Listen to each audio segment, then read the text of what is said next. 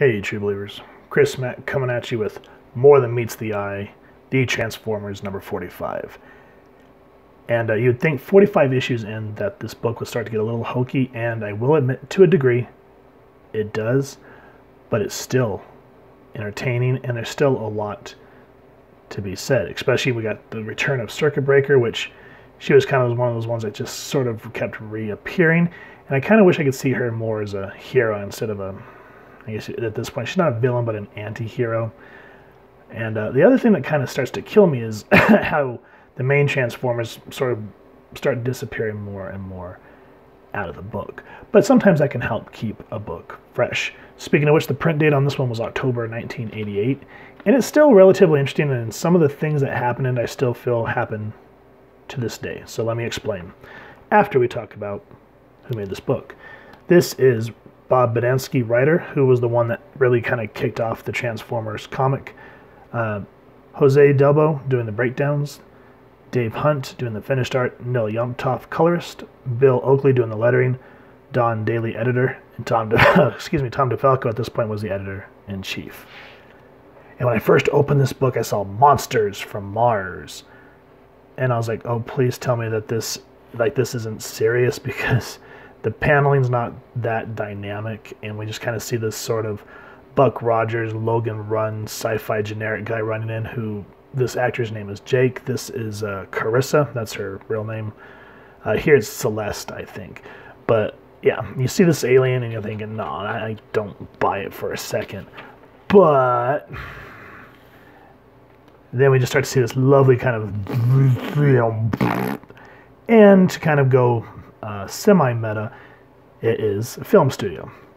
So this is Jake Carissa, and then the guy in full fashion 80s. His name is Rolly.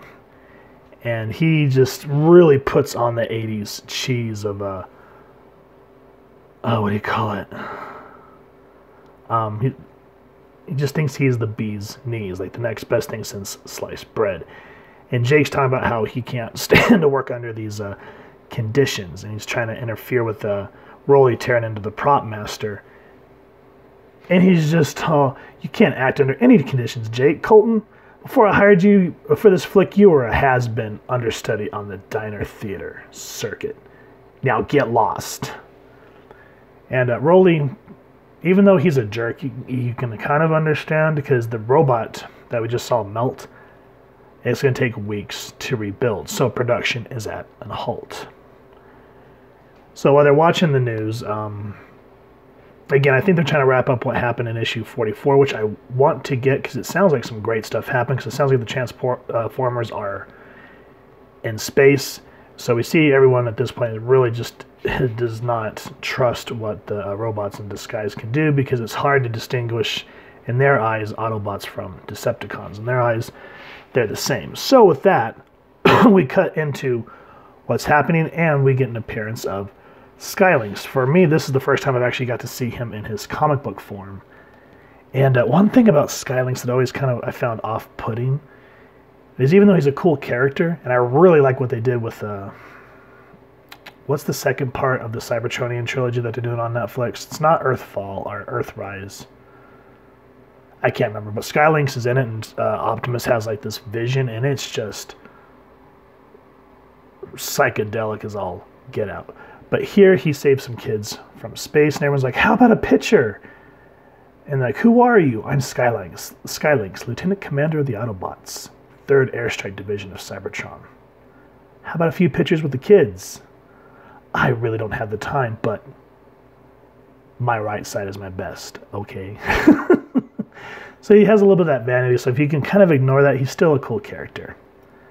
Now, with that said, we see this person kind of uh, trolling, not trolling, but uh, spying on Skylynx. And it's like you shouldn't go shooting your mouth about your whereabouts, robot. Not if you want to stay in good working order. So I like how they don't really reveal the face, even though on the cover they gave it away. They should have really not, or at least said the return of someone and then let it be mysterious. I think that would have helped quite a lot. But nonetheless, it's mysterious and it's very noirish to a degree. And then once they wrap up what happened with the last issue, Skylynx takes off. It introduces Circuit Breaker or Circuit blah, Circuit. dang it, hold on. Yeah, Circuit Breaker. I kept thinking it was Livewire, but that's Superman. But anyway, uh, Rolly's agent says, well, you should go out to the woods Why? you know, production's on hold. They say that they've seen Bigfoot. And Rolly's not buying it, but he says, hey, there's military and da da da da da da. So he grabs, this right here reminds me of King Kong because the comic right here kind of starts to turn into like a monster movie, like going to Skull Island. So he grabs his production crew and they're like, this isn't really in the job description. Look, you two, if you got a better offer, then leave. Which they don't. They're kind of between a rock and a hard place. Um, the military won't let them pass because this, there's more to this Bigfoot thing than meets the eye. Ha ha ha ha. That Anyway, he, uh, Rolly, again being the 80s sleaze producer, uh, was it called, bribes the locals to show him how to get around the military. And this is where we're introduced to a character called Skullgrin. Now, you would think, normal common sense, you'd be running at terror at the sight of this. And the artwork is a little hokey. I kind of wish this was a more dynamic panel. But anyway, it, you ignore that, and it's a good read, in my opinion. Rolly actually makes Jake take the camera. He's like, get some footage of this for our movie. And Jake's just kind of like, yeah, um, I don't know how I feel about this. But anyway, um, Skullgrin actually agrees. Like, they actually get him calmed down. If you want to know how, read the comic, which I do highly suggest. It says, come work for me, babe. I'll make you a star. And so I like this whole montage of Time Magazine, People Magazine, you know, Monster from Mars, and they show how everyone kind of is starting to get elevated uh, in their status. You know, ticker tape parades, which I've not really seen for actors in a long time. And with that, we still see um, a lady in a wheelchair watching this this thing. She come to find out it is a robot. And uh, people are, you know, then here, this kind of reminds me of the end of King Kong again, where everyone's taking photos of him at the his display, and he gets mad, but Skullgrin, instead of attacking, he's just saying that all these uh, rumors about him, you know, eating human flesh, la la la la, he's saying those are all lies. And you see him start to make a rapport with uh, Carissa. And Jake's actually jealous of Skullgrin. And I like how, you know, these character developments, you start to see them grow and build. And this is a standalone issue, man. So that's that's what I love about it. But you see that these uh, Carissa and Skullgrin start to get this camaraderie and she talks about how it feels good to get out of her acting clothes and just kind of relax. And she's like, my real name actually is uh, Ethel Stankovitz, or however you pronounce that. You know, she kind of took on the name Carissa for Hollywood, which a lot of people do. And so Skullgrin's like, I also pretend to be something I'm not. And this is where you show that he's actually a robot. And then here, my suspicions were right. Skullgrin is really a transformer. And all transformers must be destroyed. Costume on. And here's where we see, as the comic promised, the return of Circuit Breaker.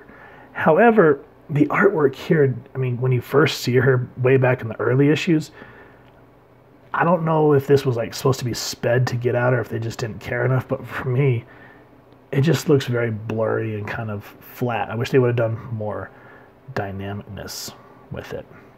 Now, with that, I don't want to give any more away what happens. The battle's kind of fun, but um, again, kind of going back to kind of this King Kong monster story. Uh, Carissa almost falls because of the actions of Circuit Breaker. What happened? Read the book. But she goes, Help! And Skullgrin's like, I'm sorry I doubted you, Carissa. Friend should never doubt friend. And all the while, Rolly's still filming. Now, something does happen to him that makes you laugh at the end of the book. But again, you got to pick up this book to check it out. As I said, you can see the book, the artwork starts to suffer a little bit. But nonetheless, for one standalone story about a Decepticon pretender, because if you guys remember, um, and this will refresh my memories, if you watch The Toys Who Made Us, they were talking about how when um, the American side of uh, Transformers parted ways with what was it? Uh, to- oh god, I cannot think of it off the top of my head. Tome, I think it is. Let me know down in the comments if I'm wrong, and feel free to make fun of me. But at this point, they kind of parted ways, and so the American branch of making the toys were scrambling for ideas, and so they started doing like hiders and pretenders. And I like how Skullgrin's like, I'm a Decepticon pretender, whereas you saw his armor splits open and it's just a robot. Not very uh, transformery. but thankfully, all that passed when Beast Wars came back around. What am I talking about for those uh, newer to the Transformers franchise? Go watch the Toys Who Made Us. That really brings you up to speed. It was a great episode on Netflix. And speaking of good stuff, this was an excellent comic book. If you have enjoyed it, please first support your local comic shop and pick up a copy. If you've enjoyed this review, we really would appreciate if you take a moment to hit like, share, and subscribe. Helps the club channel more than you could possibly know. And if you wouldn't mind hitting that fancy little Autobot bell next to subscribe, that way as we continue to upload content, you guys will get notified. Come to the channel, and we love to hear your feedback and just talk with y'all down in the comments below or on our social media pages, which I'll make sure to leave the links down in the description. So with all that said, thank you so much for stopping by. Hope you all continue to have an absolutely amazing day reading, and happy hunting, true believers.